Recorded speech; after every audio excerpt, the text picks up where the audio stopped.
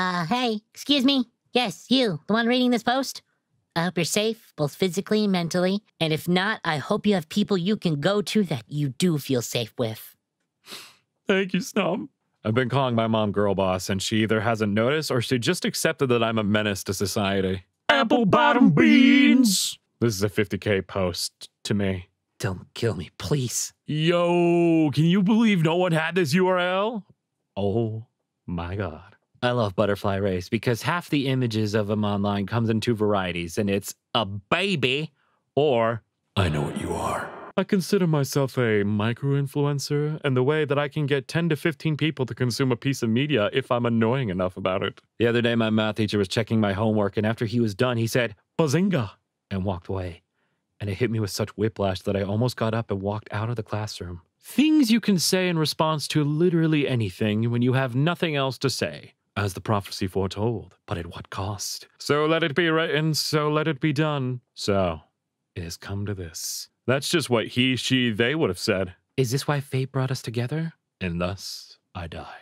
Just like in my dream. Be that as it may, still may it be as it may be. There is no escape from destiny. Wise words by wise men write wise deeds in a wise pen.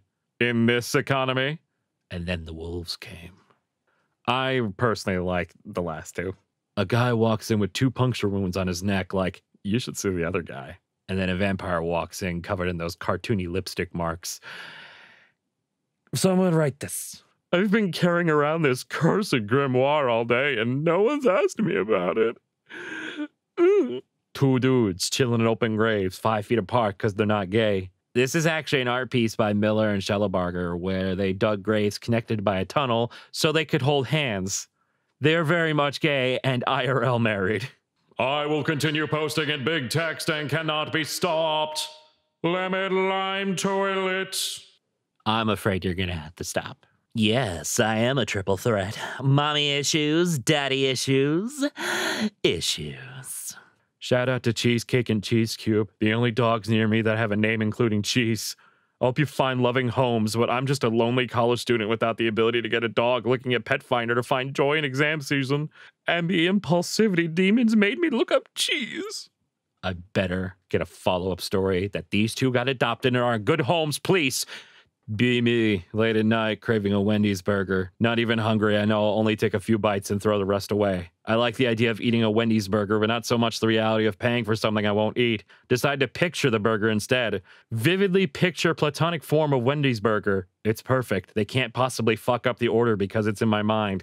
I imagine eating the burger bite by bite. I finish. Feel better. No more craving. What the fuck is wrong with me? Capitalism zero, burger topo one. The Cha Cha slide in full metal armor. Slide to the left.